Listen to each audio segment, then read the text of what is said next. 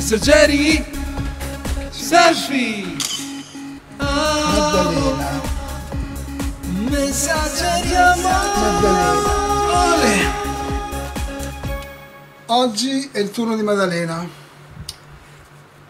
Maddalena è un dipinto che è nato insieme alla cornicia Novak, nati insieme. Mi piaceva l'idea di fare un ritratto di una donna che avesse un nome che evocasse un personaggio comunque mitologico fondamentalmente, perché la Maddalena è un personaggio ancora poco conosciuto della vita di Gesù, no? l'ha fatta passare per, un, per una persona con delle qualità che non corrispondono fondamentalmente.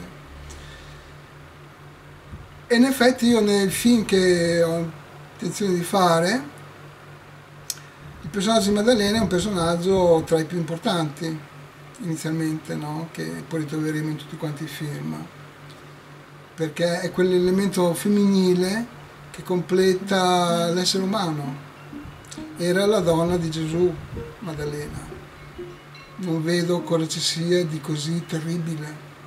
Maometto aveva due mogli, una bambina e una di 50 anni. Tanti, tanti, tanti... Socrate aveva una moglie, e poi chissà quanti altri maestri hanno avuto mogli, capito? È la cosa più naturale del mondo.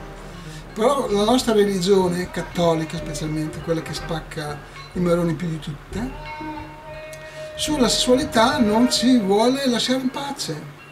Metti perizoma sui crocifissi e non ti fa mai avere uno sguardo sereno, pulito sulla sessualità, ma la deve sempre sporcare e deve dirti che se tu sei sensibile a quella emozione lì, sei una persona cattiva, animale, da biasimare, di cui devi vergognarti e pentirti con tutto il cuore dei tuoi peccati, perché peccando offendi il creatore che ha fatto il sesso, forse per errore, forse per errore, dovrebbe chiederglielo.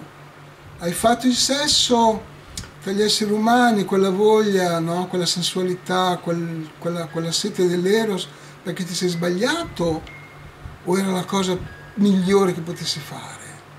Perché io sento che è la seconda la risposta giusta e mi chiedo per quanto tempo dobbiamo andare avanti a dire che fa tutto schifo, quello che in realtà è solo buono. E invece per quanto tempo dobbiamo continuare che è buono quello che fa schifo, che è bello quello che è brutto, che è sano quello che è tossico. Per quanto tempo ancora dobbiamo andare avanti con questa barzelletta? E Maddalena in un qualche modo ti viene a ricordare un po' questa cosa qui, perché nella cornice dove c'è questo binomio di marmi antichissimi e CD contemporanei, si lega il passato con il futuro nella solita vecchia tematica, quando è che riconosci e abbracci il valore di cui hai bisogno nella vita? Perché non basta sapere qual è, molte persone sanno qual è il valore supremo della propria vita, ma non lo accettano, perché sei libero di accettarlo o non accettarlo.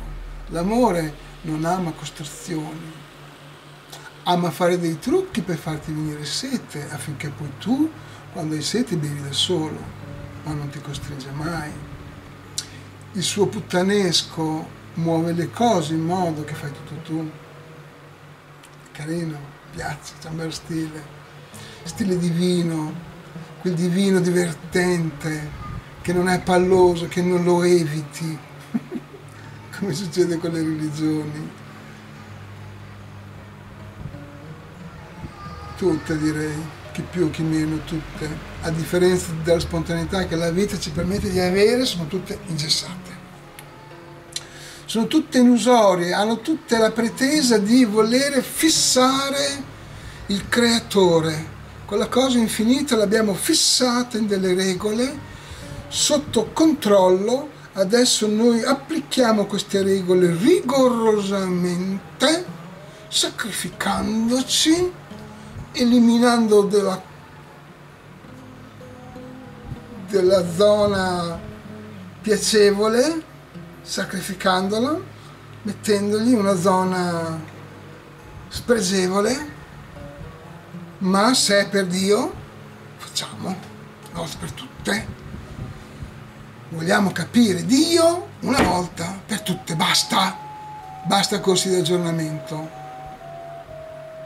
No, non puoi giocare Dio una volta per tutte, non puoi mangiare Dio una volta per tutte, non puoi guardare Dio una volta per tutte.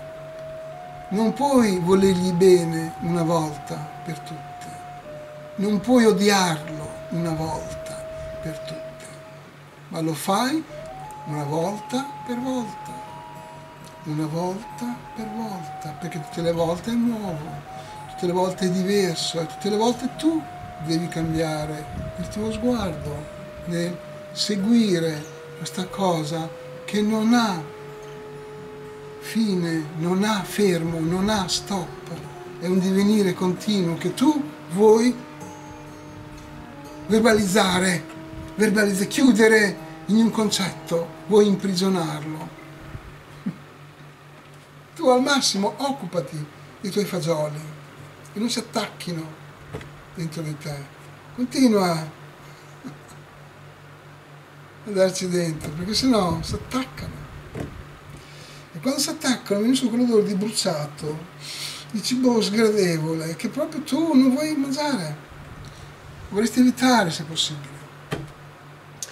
Poi quella Maria Maddalena è il dipinto che per 1000 euro viene riscattato insieme alla cornice. Bene, questa è Maria Maddalena, questo è il riscatto. A quella parola io passo a un altro sterminio. Ciao! E alla prossima.